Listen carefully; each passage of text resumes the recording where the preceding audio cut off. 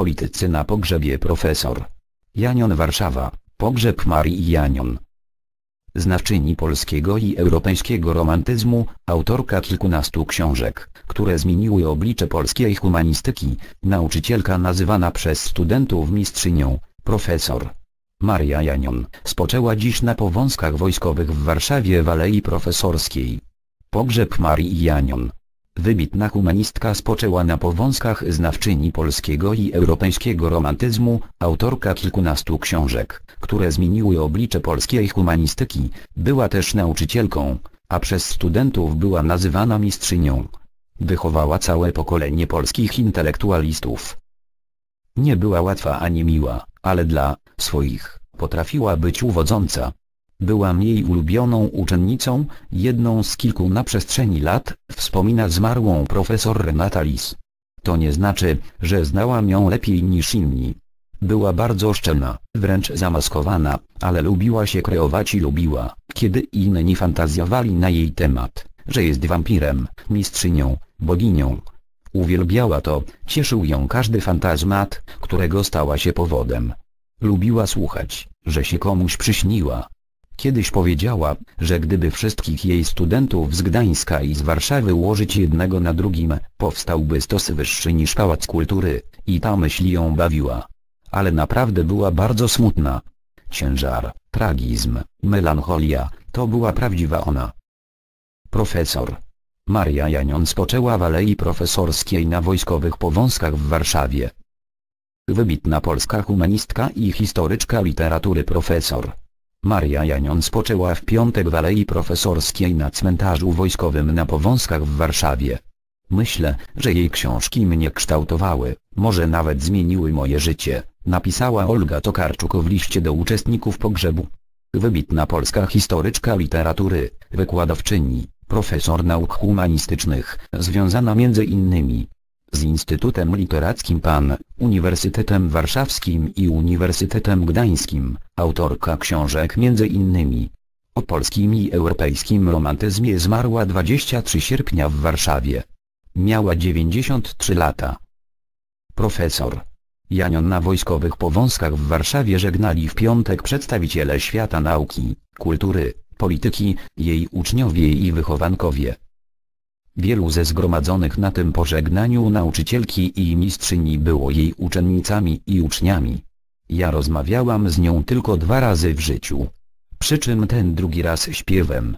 Jednak kiedy w późnych nastoletnich czasach trafił mi w ręce pierwszy tom plus transkresji plus Maria Janion weszła do mojego życia i pozostała w nim na zawsze, wyznała to Karczuk w liście odczytanym przez Kazimierę Szczukę.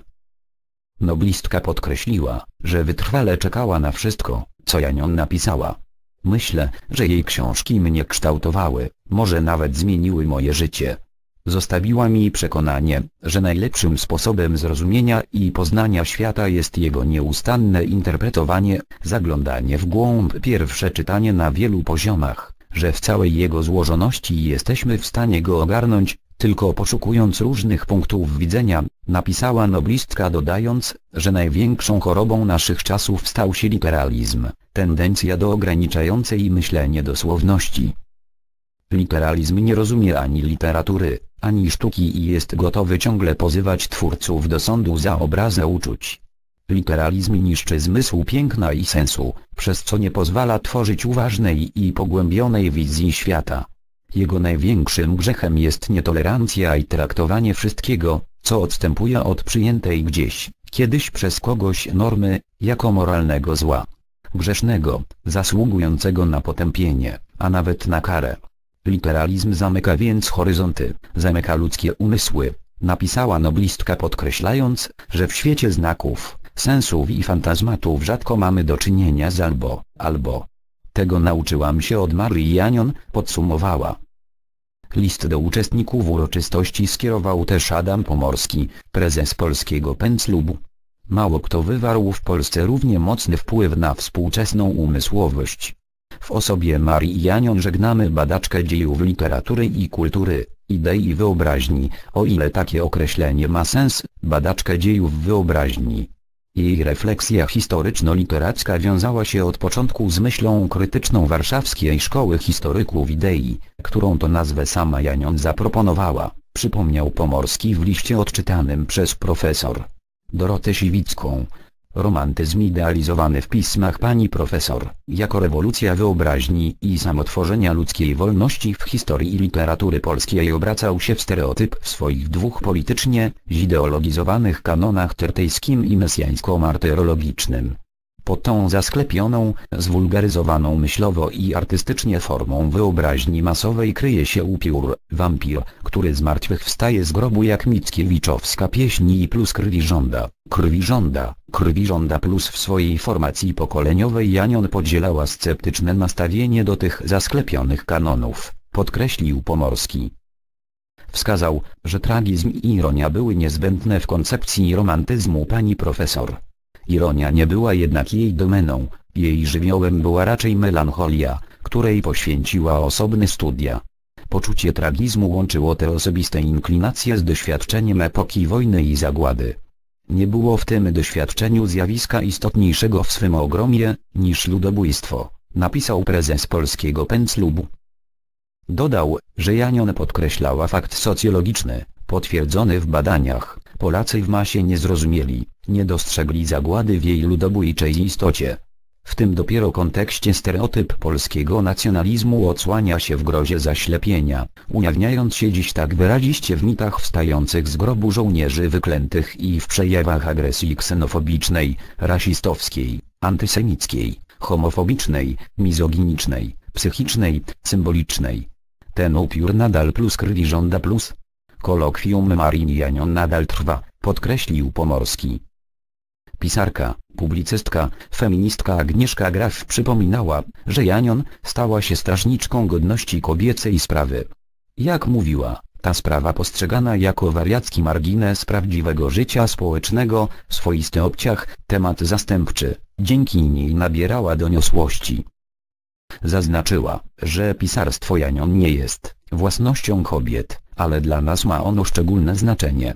Plus córki są do wielkich zadań plus, powiedziała kiedyś profesor. Istotnie, wiele z nas czuje się jej duchowymi spadkobierczyniami, symbolicznymi córkami. Docenionymi i wybranymi do wielkich zadań, dodała. Założycielka archiwum Marii Janion profesor. Monika Rudaś-Grodzka z Iblpan przyznała, że za sprawą profesor Janion wybrała wiek 19.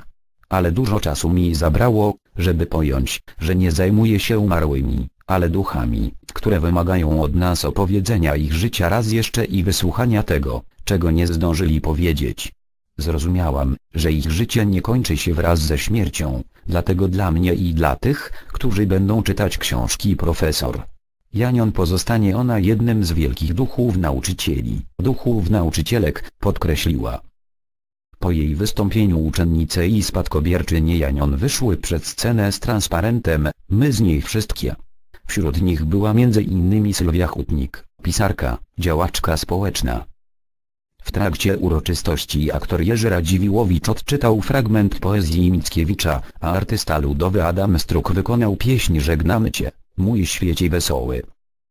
W Alei Profesorskiej, miejscu gdzie spoczęła profesor Janion, przedstawiciele Kościoła rzymskokatolickiego, Polskiego Autokefalicznego Kościoła Prawosławnego, Kościoła Luterańskiego, Polskiej Unii Buddyjskiej oraz naczelny rabin polski odmówili modlitwę międzyreligijną.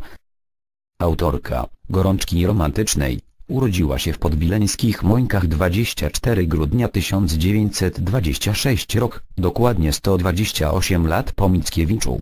Pochodziła z niezamożnej rodziny, samotna matka utrzymywała ją i jej brata, bardzo starając się o to, by dzieci zdobyły wykształcenie. Podczas okupacji, którą rodzina spędziła w Wilnie, Maria i jej brat uczęszczali na tajne komplety. Po wojnie rodzina Janionów osiedliła się w Łodzi, gdzie Maria rozpoczęła studia polonistyczne. Wraz z najbliższą przyjaciółką, Maryną Żmigrodzką, obracały się w kręgu marksistowskiej, Kuźnicy której redaktora naczelnego, Stefana Żółkiewskiego, pieszczotliwie nazywały grubym. Kredyt zaufania, jaki początkowo miał u niej marksizm, Janion tłumaczy doświadczeniem wojny i przekonaniem, że sowiecka dominacja może zapewnić trwały pokój. Wraz z Maryną Żmigrodzką zapisały się do partii, skąd Janion została usunięta dopiero w 1978 rok. Janion zajmuje w polskiej humanistyce miejsce szczególne. Stworzyła własne, bardzo osobiste i współczesne rozumienie romantyzmu. Po całych latach, gdy poezję romantyczną traktowano jak rodzaj nietykalnego skansenu historyczno-literackiego, jej Gorączka romantyczna 1975 była dla wielu objawieniem. Pod jej piórem romantyczne postaci ożywały, romantyczne rozumienie świata okazywało się nagle kluczem do zrozumienia współczesności. Janion wyprowadziła romantyzm z getta pojęć historyczno-literackich, stworzyła z niego kategorię określająca pewien sposób myślenia, wartościowania świata, aktualny we wszystkich czasach i epokach. Mistrzyni, tak mówili o profesor. Marin Janion jej studenci. Jest ich już kilka pokoleń, uczestników głośnych seminariów na Uniwersytecie Gdańskim i Warszawskim oraz w Instytucie Badań Literackich PAN. Seminaria prowadzone przez Maryjanion przyciągały nie tylko polonistów, na tych zajęciach spotykali się studenci niemal wszystkich wydziałów humanistycznych. W 1980 rok przyznano Marii Janion nagrodę Fundacji Jurzykowskiego w Nowym Jorku, a w 1991 rok otrzymała Nagrodę Literatury w dziedzinie eseistyki za książkę Życie pośmiertne Konrada Wallenroda. W 1999 rok wręczono Janionę Nagrodę Wielkiej Fundacji Kultury za rok 1998. W 2007 rok otrzymała złoty medal zasłużony kulturze Gloria Artis. W tym samym roku otrzymała specjalny paszport polityki dla kreatora kultury. Była laureatka Nagrody Miasta Gdańska w dziedzinie kultury, Splendor Gdańsis, za 2007 rok. W 2009 rok przyznano jej Nagrodę Ministra Kultury i Dziedzictwa Narodowego. W tym samym roku otrzymała Nagrodę Hyacynt, przyznawana przez Fundację Równości, a rok później Nagrodę Specjalną Kongresu Kobiet. W 2012 rok we Francji uhonorowano profesor Janion Narodowym Orderem Zasługi. W 2018 rok przyznano jej Nagrodę Polskiego Pędzlubu imienia Jana Parandowskiego.